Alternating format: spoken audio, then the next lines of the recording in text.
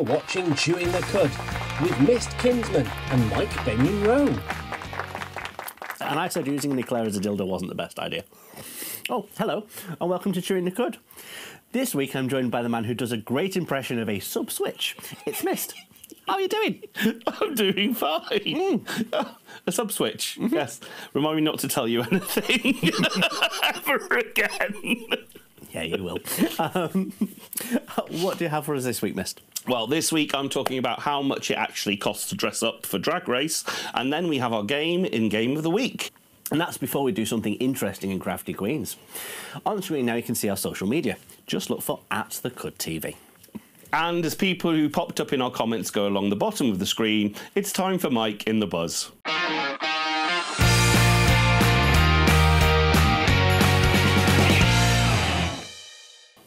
How proficient are you at the use of Google? Google. Google. Google. Sorry, Um, a Claire stuck in my You still out? Yeah. swallow, darling. Swallow. Yeah. Um, especially when there's a creaming, creamy filling involved. Um, no, uh, I'm, I'm pretty good at Google, but that's because Google's used to me Googling. Okay. Um, now, here's an interesting thing. They've released some words that you should never ever Google. There are sacrosanct words. No, sac- not sacrosanct. It's just they've said, trust me, you do not want to Google these words. Well, I know I know of a couple from the old days, such as blue waffle. You do not Google blue waffle. Oh, you can Google blue waffle. No, don't Google blue waffle. No, because because it's gone that far in now. It will actually just show you pictures of blue waffles. Oh, good. That's a relief. Yeah. Um, but no, Google images and things, things not to not to Google. Um, so I thought I'd share them with you. Please don't try this at home, kids. Well, definitely not the first one. Degloving. Degloving. Degloving. Is that not literally removing, Removing a glove. like, but the skin? Uh huh. So it's actually a medical term of when you remove the skin and layers of muscle tissue and fat in a single move. Oh, oh! I, t- I recognise that. That is horrible from TV shows like Hannibal. You know. Oh, yeah. Oh, yeah, gross, but mm, fun. Mm. Okay, yeah, no, I don't want to know any more about that. No, I will know not. more about degloving? No, I won't be googling degloving. Okay. Um, Actually, that's maybe quite queasy, to be honest. Fournier. Fournier. F O U R N I E R. That sounds like a, a hair product. It does, doesn't it? Um, it's a ne- acute necro- necrotic infection, and it's just your flesh literally falling off as it rots. Oh, God, I'm feeling quite queasy, and I've not even had an eclair.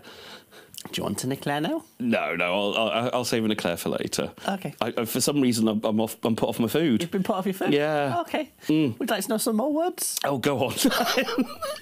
Okay. Um, the other one I'm not to do is krokodil with a K, not a crocodile. A crocodile. crocodile. Is that a dildo in the shape of a crocodile? No. Um, it's a flesh-eating zombie drug. So what happens is that as you, as you overly use a, a point in your arm to inject drugs, right, and necrosis sets in, right, and it sends you a little bit loopy as well, the necrosis, because you basically get poisoned from the inside. Mm-hmm. And that's called crocodiling.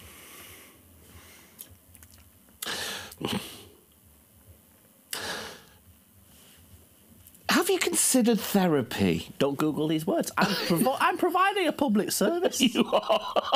Don't Google these words. you enjoyed it a bit too much when you googled it yourself, didn't you? I, I just Googled men with big dicks, to be fair. Moving on. You have a tattoo. I do have a tattoo. What is I have several tattoos. Uh, that is a tree of life. That is a pentacle, and that's a seed of life with a. I thought that was the, the Death Star. It's it's not the Death Star. I No. thought it was the Death Star. I am a big Star Wars fan, but no.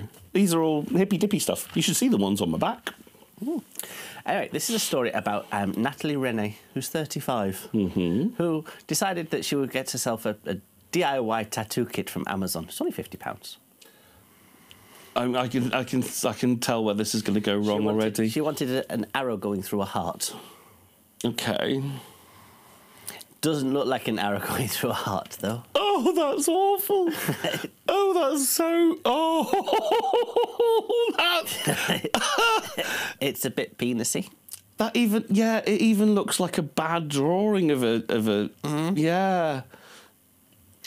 Yeah, so her £50 tattoo kit, um, £1,350 to remove it. Wow, couldn't she just get it covered? How big is it? It's, it's actually in the crook of her arm there. She could get another tattoo over that for less. But what would you have there that's Well, I'd rather have a picture of a cock and balls than that. already got one? it's, not, it's the balls. I, I, I can understand I like what's supposed to be the anatomy of it. I like the fact that it's got the balls and potentially a penis with hair on it. Well, mm, I think that's somebody with a pointy willy. And I have met guys with willies that pointy, balls, and the perineum. Smelly bridge. Yes. You just like have a couple of buttocks and thighs going out there. All you need is a little. Oh, it's from Hold the bottom view. Yeah, Oh, okay, I get that now. yeah.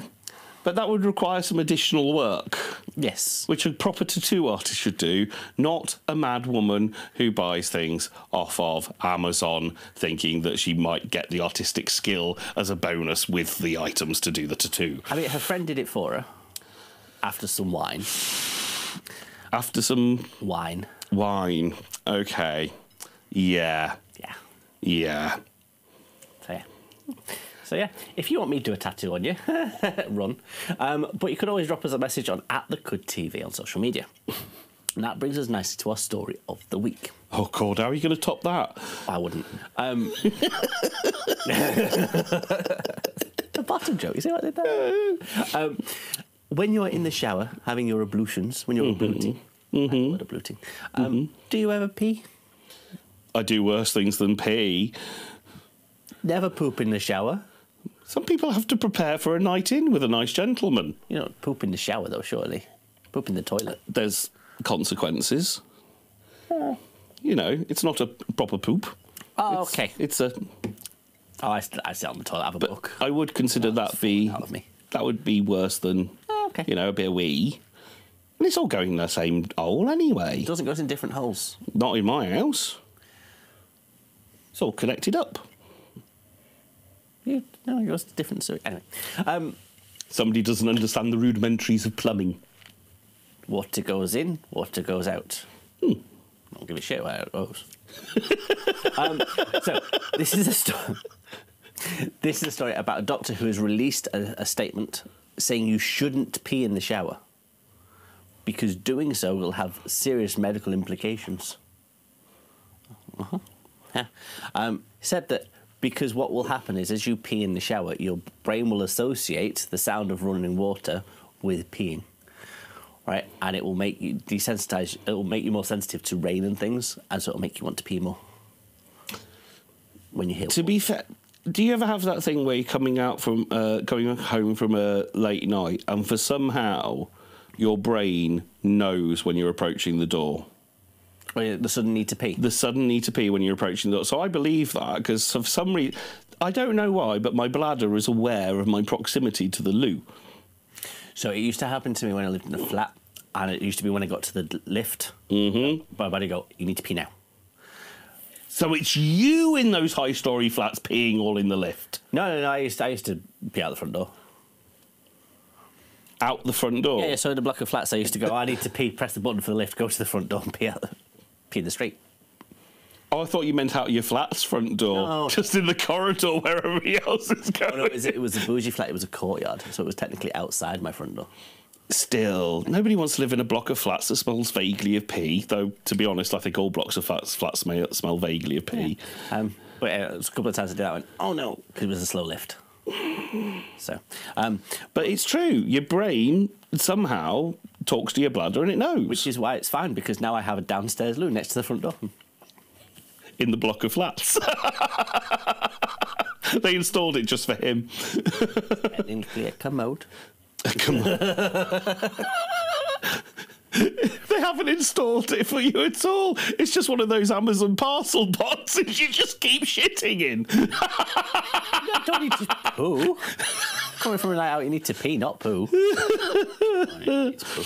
But yeah, I believe that. Yeah. Um, it's not going to stop me though. Well, it won't stop you shitting in the shower, is it? Apparently. I tell you, the water flowing. Oh no, just shut myself. Yeah, never go out in the rain. Yeah. It's a problem living in Manchester, really. Exactly. that song, um, MacArthur's Park. Yeah. Yeah, talk about taking a cake out in the rain. Yeah. Someone got his. Anyway, um, that's all from the buzz this week. Uh, thanks for that, Mike. Well, I'll better reevaluate my life choices when doing my ablutions then. Just keep evaluating the life choices. Um, pleasure as always. But coming up after this short break, Mist brings us a look at the celebrity news in showbiz.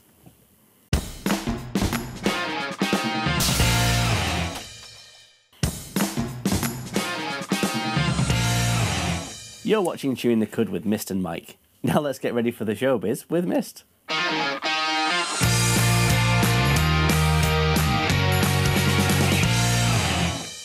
So, celebrations. Yay! Tia Kofi won Drag Race. Oh no, okay. The drag artist Tia Kofi. Yes, Drag Race Tia Kofi. Yes, who I'm a lovely fan of, and a lovely fan, a big fan of. Yes, I think she's amazing. Little bit sexually attracted to Tia Kofi. Really? Oh. Oh well. Well, um, this is not the news I'm going for, but she's officially off the market. She's she's she's been on Instagram and showing off the new boyfriend. Nice. So very very happy and congratulating. But no, we can't have her. No, she's taken. I don't know. She might have an open relationship. I don't know. Stop me normally. But the the big news is she's she's she she's won um, UK versus the world, Yes. and we're very very happy for her. And all cheers all around. Like look at her. She's isn't she a star? She's Yes. brilliant. I, I, I, I didn't watch any of this series whatsoever. Not at all. She's at all. stonking.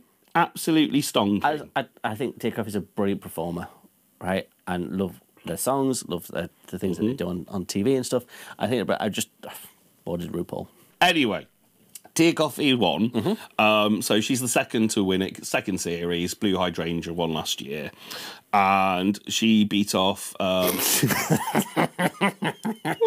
she did. She beat them off. That's one way of winning, I suppose. But hmm. they're distracted at least. Can I win yet? Drag Race Down Under's Hannah Conda was competing, and Drag Race France's Le Grande Dame, mm-hmm. who they had a bit of a, a bit of a thing with, but that's that's not the new boyfriend. Famously, for series and all the other UK series, they don't get a cash prize, do they? No. This year they did. Oh, Yeah, fifty thousand pounds nice. and that's going to come in handy. Tia Kofi was talking about it. Do you know how much they spent on costumes to prepare for Drag Race? I know it's a lot of money, Yeah. but I also remember Tia Kofi's first incarnation on Drag Race, where not much money was spent at all. Well, there were a lot of like design challenges on the show, so it's not like they could pay for a design. They had to make it there and then, right? Know, But there were some that were just a bit. Yeah, yeah. There were misses from Tia, first first time in the wrong. But yeah, I I, I don't know. Is where I'm going to go with that one. Basically, designers because there are d- big designers that want to get on there and show off what they've got, but you've still got to make some money. Mm-hmm. So the minimum you're looking at for per um, thing, according to Tia, is about two thousand five hundred for each look. Okay, that's a lot of money. That's a lot of money when you add it up. So that fifty thousand pounds she's won is probably just going to cover what it cost her to go in. Um, do you know who the highest spend is in terms of, as far as we're aware, of uh, uh, contestants on Drag Race? RuPaul. Well, RuPaul obviously has a, a lot going on there, but contestants. Contestants. Um, both UK and US or just UK? Um, all the all the, all the series, but All the series. Um, I'll narrow it down for you. It's a US queen. it's gonna. I I'm gonna say it's one of the more recent US queens. Mm-hmm. Bianca Del Rio. Bianca Del Rio can sew her own stuff, and it's always the same damn look, in just is. in a different cut. No, this one surprised me as well because I, sorry Heidi, um, but I think she had a very similar experience with Tia, where some of those looks were a little bit dodgy. No, Heidi N Closet, uh, Heidi N Closet, sorry, I pronounced that properly. She spent four thousand dollars, so that's about three thousand two hundred something in in British money, um, on her Drag Race appearance on season twelve in twenty twenty. But when she went on All Stars 8, she forked out £32,000. Over £32,000. That's a huge investment to get on TV. Yeah, that's just. She can come on here for a pound. Well, whatever she wants. Put herself in bin bag if she wants. We'll give her an eclair. No, when my eclairs, you can back off. There's a line, it has been drawn. Moving on. So, Netflix, it's the gift that keeps on giving. It is. We've got another show coming. This one's called Baby Reindeer. Oh, I know, it's a, it's a cute title, isn't it? out of Christmas. Um, but actually, it's a chilling story. It's a chilling story of the Scottish comedian Richard Gadd Okay. being harassed by a middle aged woman he meets in a pub. Okay. Um, now, this actress is not playing that middle aged woman. Okay. She's playing the American therapist that he has a bit of a relationship with, as far as I'm aware. Um, and she is a trans actress named Navu, Nava Mau. And she plays the American therapist Terry.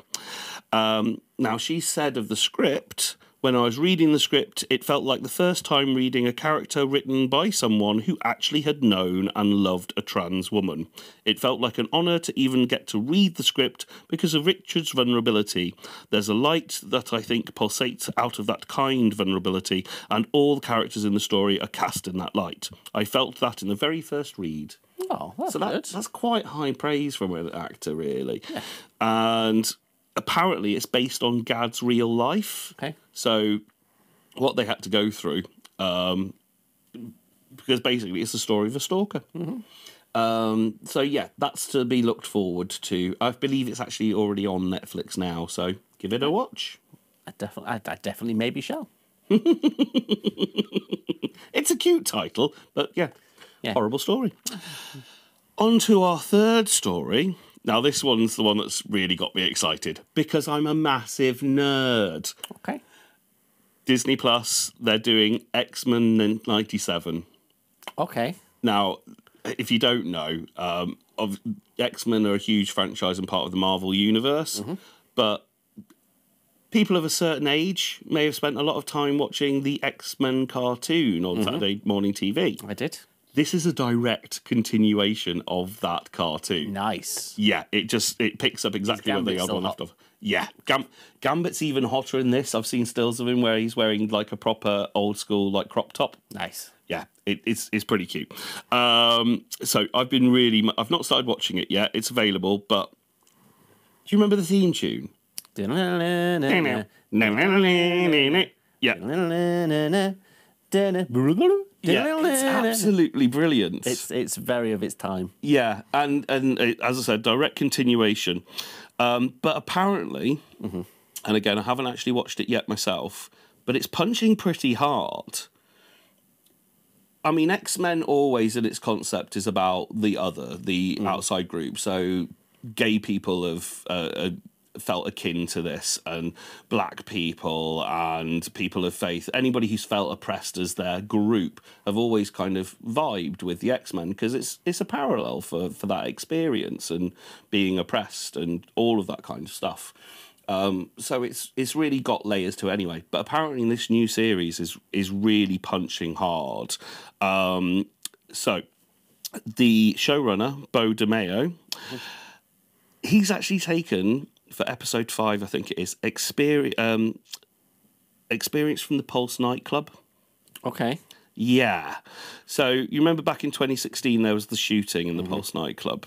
Well, he used to be somebody who would frequent that venue. Right. Okay. Yeah, he said episode five was the centerpiece of my pitch to Marvel in November 2020. The idea that having the X Men mirror the journey that any of us who grew up in the original show have experienced being kids in the 90s. He also went on to say if events like 9 11, Tulsa, Charlottesville, or Pulse nightclub teach us anything, it's that too many stories are often cut far too short. He partied at Pulse. It was his club. He has so many great memories of it being an awesome of the awesome White Lounge. It was like Genosha, which is a country in in that um, series. A safe space for me and everyone like me to dance and laugh and be free. I thought about it a lot when crafting this season and this episode, and how the gay community in Orlando rose to heal from that event. Cool. And I've uh, from friends that watch watch the show. Um, as I said, I'm saving it up really, so I can really get into it. This is there's lots of layers and, and lots of real grit to it. So I, I'm glad they're taking it seriously and, and really thought about it. I can't wait to watch it. Now, I'm a little bit excited because they've changed the groinal areas. The groinal area. Is So- it's the first thing you go to look to, isn't it? Look at the size of this of the V there that that indicates a, a genitalia area, mm-hmm. right? Compared to all the other ones that are quite smooth. Gambit's packing, man. Do you remember there was that trend for making sure you had the thigh gap? And some people would put like old CD cases. I'm, I'm practically doing it now myself. Yeah, man spreading there. But yeah, Seriously, he's, he- he's probably just every day that smell-o-vision hasn't been invented. so rude. It's very musty. But yes, I'm excited. I can tell the the smell.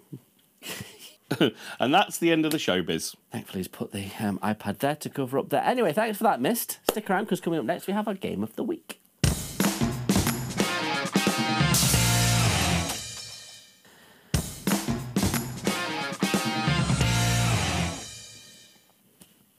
You're watching Chewing the Cud. This week we're going to play a game which is Lazy Susan's Question Roulette. And this is for our very own, I'm not going to say it, Mist. Off you pop. See you in a bit. Doopy doopy doo doo. Game of the week. So, Mister's got the lazy Susan. He's going to give it a spin and ask me a question therein. That's the rhyme. Look at you being all fancy and artistic doing poetry on the fly. I know. Are you ready for a quiz? I am. Spin it. Right, okay. Whoop. Where would it stop? Nobody knows. I, I, spun, I spun it a bit too hard, didn't I? yeah, it, it, it's Oh, very well balanced. Going round and Susan. round. It reminds me of a, a, a certain a certain piece of apparatus in a bathhouse. I know. Um, oh, general knowledge. That's going very quick for a bathhouse a piece of apparatus. Right. Okay. Well, you know, I did get uh, motion sickness. Ah. Um, okay. So. Ooh. No, that's too easy. That is too easy. Um, you Don't get to pick, you just ask the question. Who was the Prime Minister when Queen Elizabeth II acceded to the throne?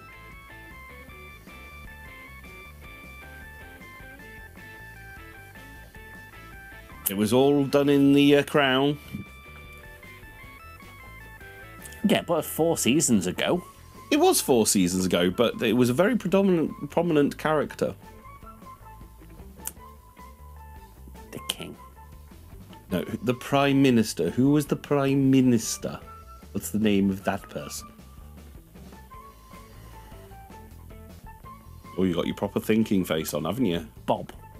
No, it wasn't Bob. Winston Churchill. Oh, was he in it? Yeah, yeah, he was. Okay. That was a little, obviously too, too complicated. Oh god, I've done.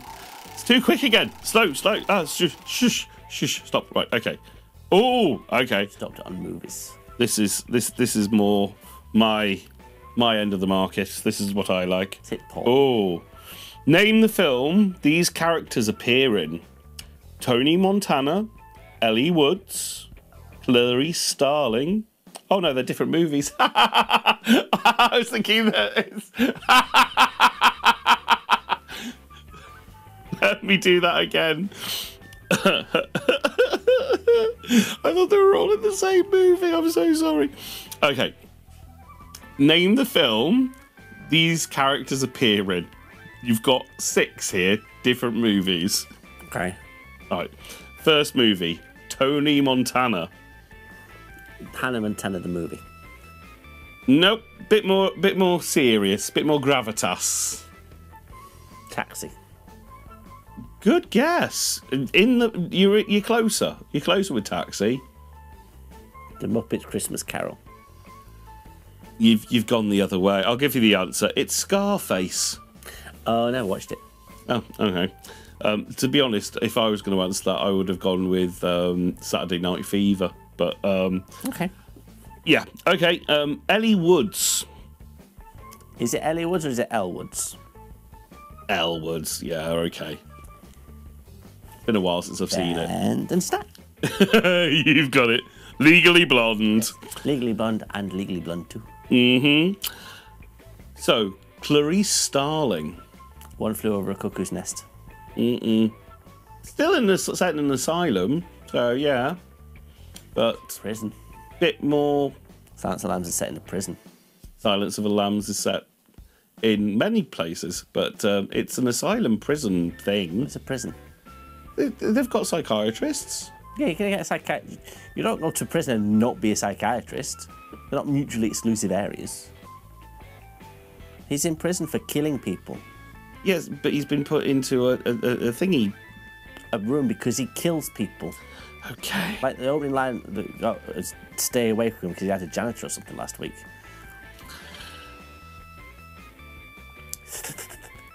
We'll skip that one. It's far too easy. Uh, Sure. what film is Captain Hook in? Lots. Exactly. Um, how about Oda Mae Brown? Okay, let's try another one. Let's try something for you. Okay. Um, I've not whacked at that. It's it's very smoothly. If you put the WD forty on this, No, just a bit of loop. bit of lube. Okay, It's I don't. Not lube. sport. Not sport. We hate sport. Not sport. General. Oh, general knowledge. Okay. The silicone based lube as well Right. because it, it, it lasts longer. Water based can get a bit sticky. Um. Ooh. What did Forrest Mars event invent in 1933? The Mars bar. The Mars bar, you say? The answer would be the Mars bar. Don't f out with chocolate, mate. We can tell what your priorities are by the answers you get I, right. I was once asked to leave Cadbury World in Birmingham. what were you doing? Out, they, they said, "Would you like to try these samples of what chocolate is?" And I did, and I just refused to move. And they kept bringing out trays of chocolate, and I'm going, and they're going, "It's one per person." It's like, don't say that anywhere. Unfortunately, we've landed on sport. That's okay. Mm, mm. Why do we even have a sport category? Ugh. Okay. Complete the boxer's name. I wouldn't even have a clue. Um, Mike Body Snatcher. Tyson. No. Mike Tyson's a person. He is, a and he is a boxer, but not that boxer. Mike. The Body snatcher. uh, Thatcher. No, McCallum. Well, that was going to be. A, I'm not even going to do the other ones because I wouldn't have a clue, and I don't think you will either. This will make for a very boring game. So, it's landed on sports again. No, no, movies, movies, no, music, music. We can do music. We can do music. Music will be good. Okay, it makes no, people come together, according to Madonna. it does. Well, only if and the revel. I um in in the house I used to live in in London, which is a big shared house. Uh, they always knew not to knock on my door when Portishead was playing, um, because music does make the people come together. Um, mm, ooh, which song did Chris de Burgh sing about his wife? Chris de Burgh. Yeah, big favourite of weddings during the eighties. Chris Yes, de Burgh. de Burgh, De Burgh or the Burr? The Burgh, The Burr. de Burgh. The Chris de Burgh, Mm-hmm. not Chris de Burgh. Either or, whatever you fancy, really. Um, I know this because it is now a theme tune to a show, Ooh. um, which stars the amazing, brilliant Philomena Cunk, Oh. Okay. whose also name is Diane something. Yes. Name has escaped me. And she does a really good sitcom called Mandy. She does, which is the name of the song, Mandy. No. Chris de Burgh, Mandy. No. That would be the wrong singer and the wrong song. No, it's the right song, it's the wrong singer. It's the wrong it, it's both wrong. You, you just No, no. you've, Mandy got is the wrong. name of the song. No, it's uh, not. That I'm referring to on the show. The, that's it's the, the, right song, that you're referring It's- to, but it's not the answer to the question on the a, that's a completely separate problem. I think you'll find that's a you problem. I'm recently bereft.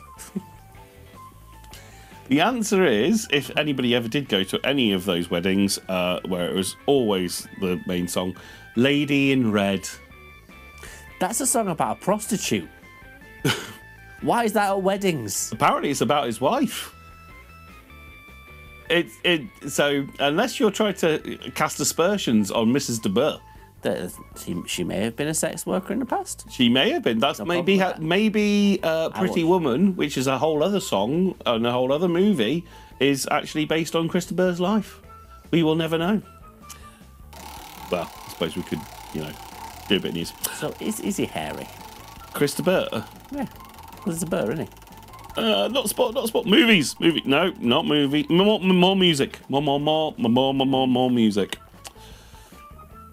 Somebody can remix that into something funky and make a whole new dance hit. They could, but they won't. No, they won't.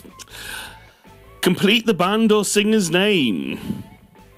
Oh, okay. Oh, uh, oh, okay. So, first one, I'll give you six here. Talking, Vaginas. no. Talking heads. Simon and. The chipmunks. Oh, that's that's not bad, but it's not what I'm thinking of. Bit more famous. More famous than Al- Alvin and the Chipmunks. Yeah, yeah, yeah. Don't think so. They sung the sound of silence. You are just an uncultured yob, really, aren't you? It's Simon and Garfunkel. It's referred to me as a yob. Yes, I did. Call the 1980s and get the word back. So, uh, how about this one? Steely? Magnolias. No, that wasn't a band, that was a film. Wrong category, darling. Steely Dan. Okay, how about Alice in. Wonderland. Again, that's a film, not not me. You, you're on the wrong category. well. It's Alice in Chains. I knew a girl called Alison Chains. Alice in Chains. Alison Chains. That that that's that would be a good drag name if you lived in the um, 90s. Um, Rage Against the Patriarchy. last one. Mm-hmm. another favourite band of mine. I'm, gl- I'm glad it's going into rock now. Limp. Bizkit. Yay! I knew you had some level of taste. Um, yeah, so stick around because coming up next we have Crafty Queens.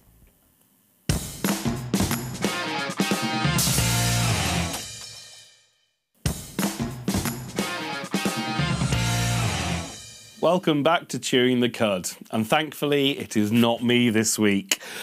It's Mike with the Crafty Queens.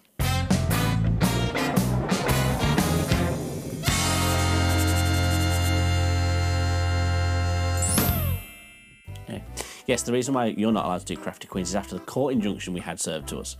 Um, so, what people don't realise is that we have a visitor in the building today. Ooh. We have Salford's Lord Mayor.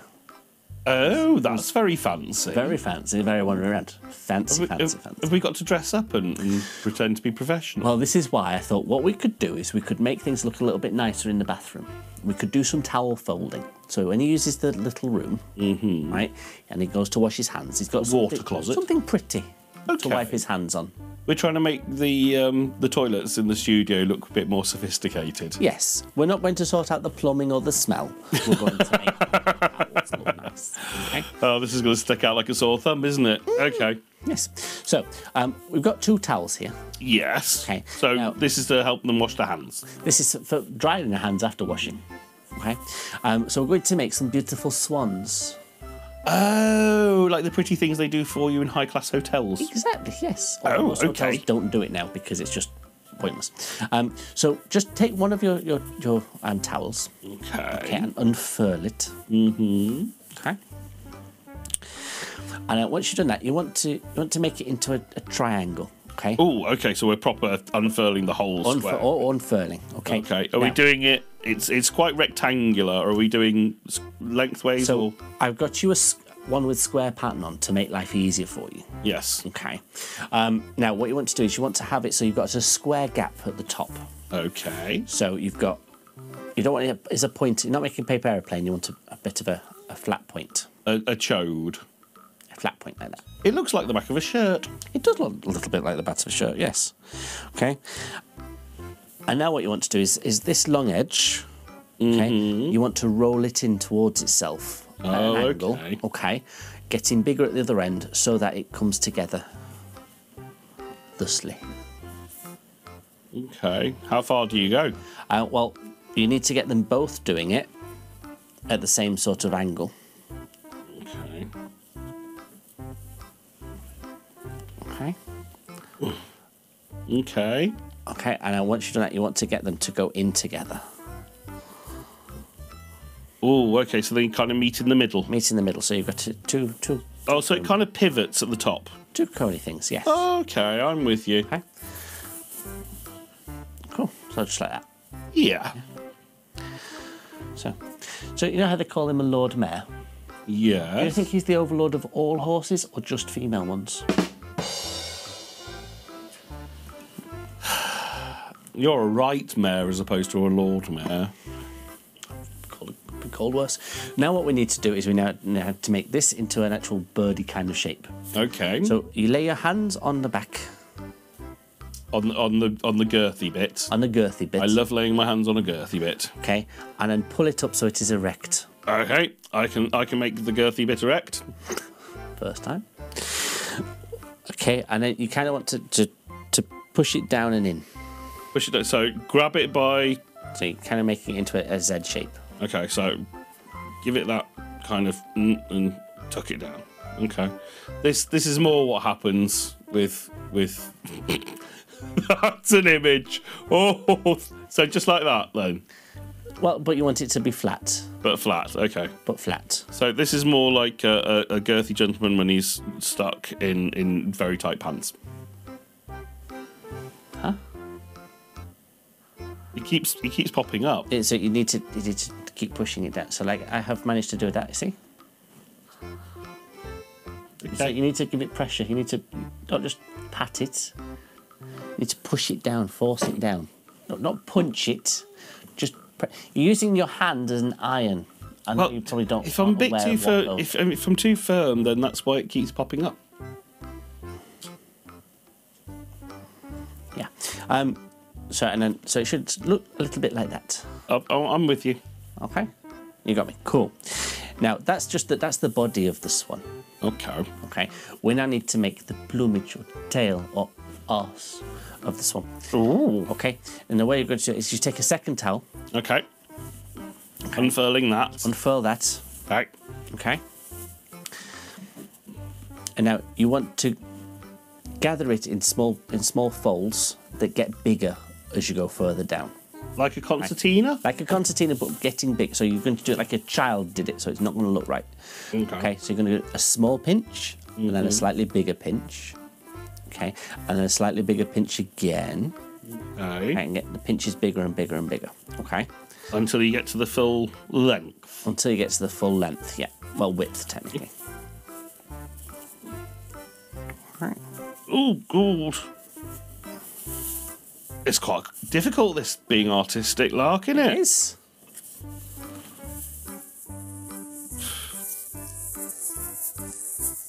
Okay, kind of concertined it. Let me see. Okay, no, that's a dicky bow. It does look like a dicky bow, That's yeah. wrong. Oh, okay. You want to pinch in the middle like I've been doing. But you said to get wider. As it goes down, yes, so you go tiny pinches, Tiny pinches. tiny pinches, and then a bigger pinch. Yeah. Oh, And then I thought you meant lengthwise, not not not the size of the pinch. No, okay, the I'll start again. Sorry. Okay. Okay, Mike, why does Crafty Queens take so long? Well, because I'm listen. finicky and I want to do a good job. Because I take this seriously. okay. Second time we've lied today. Um, so you get it like that. So it's Yeah, it's not a really big picture though. It's still quite Dicky Bowie, but it should, but it's just because you're using both hands. If you look at me, one hand, one pinch. yeah, well, I need two hands. You don't need two hands. Just one pinch. You've not seen me naked, mate. I've seen it. It's on Channel 4. All 4. yeah, anybody that not watched Puppetry of the Penis on all 4, have a look. It's not available. It's a lot. it's on all 4. It's not. Anyway, um, once you, you've got your dicky bow, Yes. okay, you're going to push it together so it's more like a fan. Okay. Okay. I'm with you. And then that goes beneath the neck of your bird, Okay. like that. Okay. And that's it. Now you've made a beautiful. Oh, I've made a beautiful swan. And, and, uh, No, no, you see, you, you, right. So you've got the bum of the bird, I've got the bum of the bird right? You put the towel, the foldy towel, in the bum, in the bum. underneath the neck.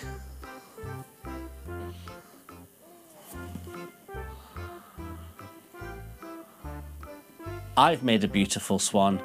Mist has made a cock. and if, like Mist, you can't get any peen, any vagine, or anything in between, even if it's a towel, you can always be a crafty queen.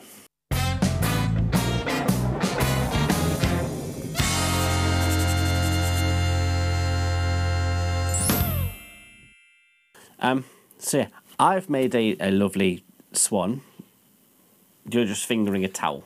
Basically, yeah. I, I, I, I What's this supposed to be? it, well, that was me concert. It didn't, it didn't work out very well. I'm not, I'm not very good at, at this. Folding a fing towel. It is just folding a towel. Yeah. No, it's folding a fing towel. it's not just folding. Oh, is that why it was so stiff? yeah. Have You you? know that's starch, dear. What do you think I wipe up afterwards with? Oh, oh, oh. Mm. Is that you or the other fella? Oh no, mine's not got that pleasant aroma.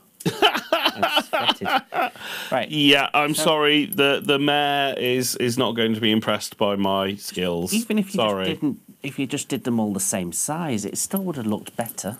that's still a dicky bow. It's not that fing thing, though, was it? Well, I've got big hands, and you know what they say about people with big hands. You need to buy big gloves. Never invite them to a fisting party. Depends on what you want, really.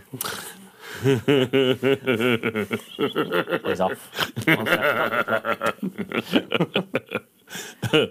But yes, uh, you you you've done a beautiful job, and uh, I think you should just always do crafty queens from now on because Yeah. you've obviously got the talent and the skill. It's not that I have the talent and the skill, it's just some people don't. Anyway, that's almost the end of the show for now. Remember to join us on our social media at The Cud TV. Thank you for watching, and we'll see you soon. Bye.